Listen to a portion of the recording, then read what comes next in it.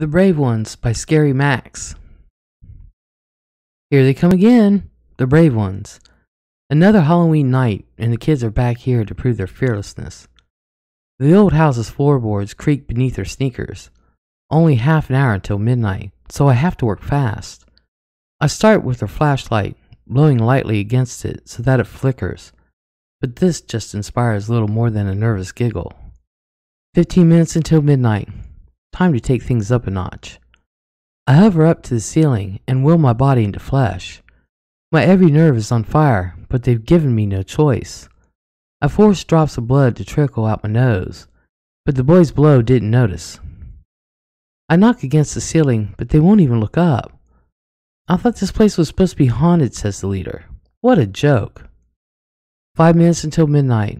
I'm running out of time. With the last of my strength, I scream so loud that they finally turn up to look at me. I like to think I'll put on a good show. I sway on an invisible noose, and the blood flows freely from my nostrils now. A couple of drops hit a skinny one with a crew cut. The boys scream and run into the night, just in time. Below me, I hear the thing. It turns, its disappointment palpable.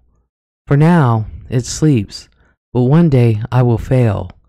The boys will be too brave and I won't scare them out in time. One day they will wake it.